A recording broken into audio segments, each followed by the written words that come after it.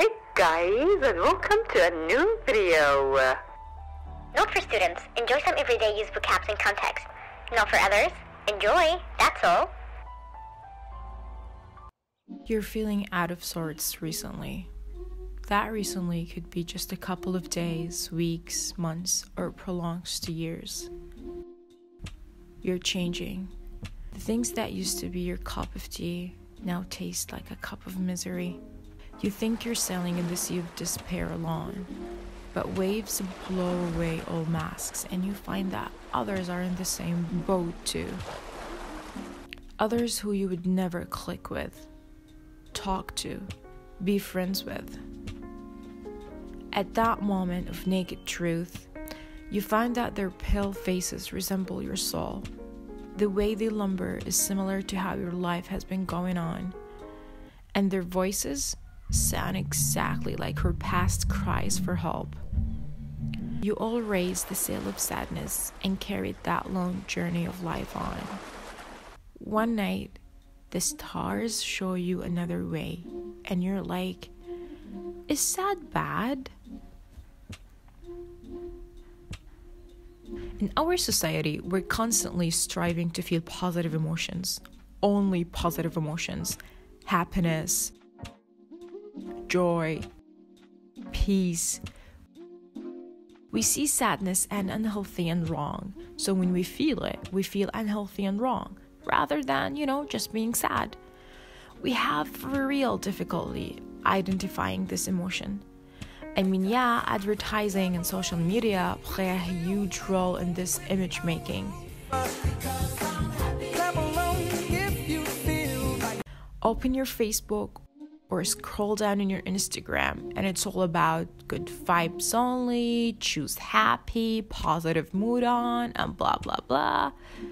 But you're not a downer and you're not a negative person.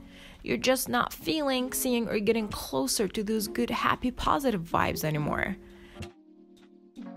So we start to see sadness as an emotion to avoid at all costs. And honestly, we do try to avoid it at all costs. And sometimes we tend to bottle it up, assuming after the rain comes the rainbow.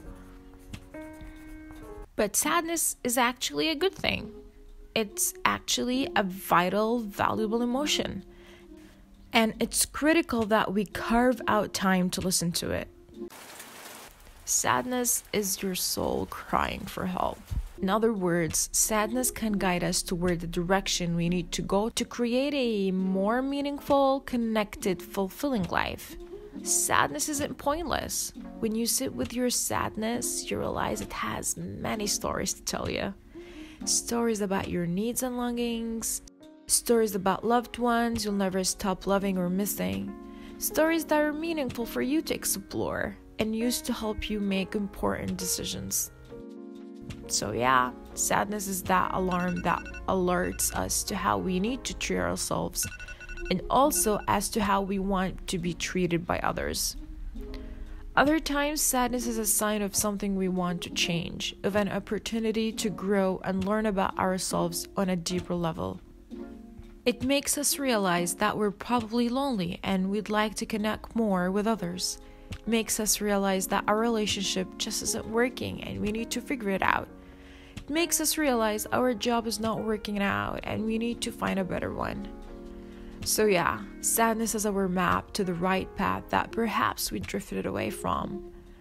The best part about feeling sad, though, when I share or listen to other people's sadness.